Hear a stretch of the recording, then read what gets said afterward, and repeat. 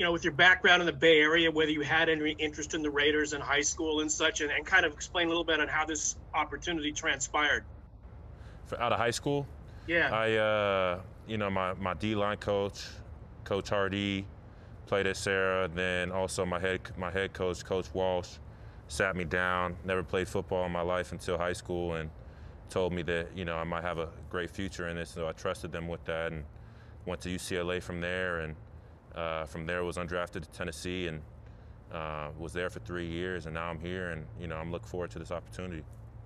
Did you have any? Were you a Raiders fan at all in the Bay Area? I grew up, to be honest with you guys, I grew up a 49ers fan, Giants fan, Warriors fan. Mhm. But uh, war, the, the Raiders were always in my heart, though. If, if anyone was talking crap about them, you know, I defend them. What spot will you be competing at? Anywhere across the line? You were primarily an end.